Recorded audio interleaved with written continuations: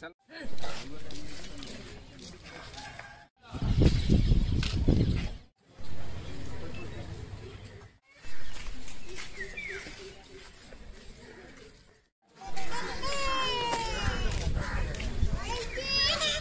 Virus కారణంగా ప్రజలు పలు ఇబ్బందులు పడుతున్నారు. మనందరికీ తెలిసిన విషయమే.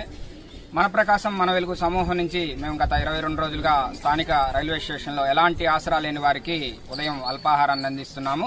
అలాగే మా సమూహ సభ్యుల సహకారంతో ఇక్కడ యూత్ కూడా నాగూర్ కావచ్చు దిల్షాద్ వీళ్ళందరూ కురవాళ్ళు ప్లస్ రావూరి యూత్ వెంకటేష్ ఆ, గణేష్ విఘ్నేశ్వర యూత్ వీళ్ళందరితో సహకారంతో ఇక్కడ గత ఇరవై రెండు రోజులుగా అంటే జనతా కర్ఫ్యూ నుంచి ఈ రోజు వరకు కార్యక్రమాలు ఎలాంటి ఇబ్బంది లేకుండా ఆహార ఇబ్బంది లేకుండా ఇక్కడ మహిళలు ఎక్కువగా ఉన్నారు. ముఖ్యంగా పిల్లలు కూడా చాలా చిన్న చిన్న పిల్లలు ఉన్నారు. వాళ్ళని దృష్టిలో పెట్టుకొని మా గ్రూప్ సభ్యుల సహకారంతో కావచ్చు ఇక్కడ యువతతో సహకారంతో ఈ కార్యక్రమం చేస్తున్నామండి.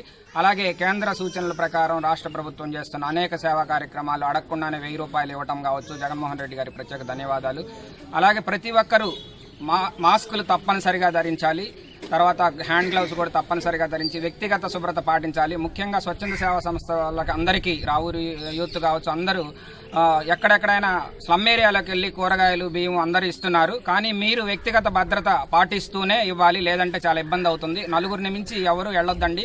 పది మంది ఇరవై మంది ప్రహాసనంగా వెళ్ళి ఇవ్వద్దు. నలుగురు ఆరుగురు మించి వెళ్ళి వెళ్తే ఇబ్బంది అవుతుంది. కాబట్టి ప్రతి ఒక్కరూ జాగ్రత్తలు వహిస్తూ ఈ సేవా కార్యక్రమాలు అవకాశం ఉన్నంత మటుకు అవసరమైనంత మటుకు ఇవ్వాల్సిందిగా కోరుతూ ధన్యవాదాలు తెలియజేస్తున్నాం.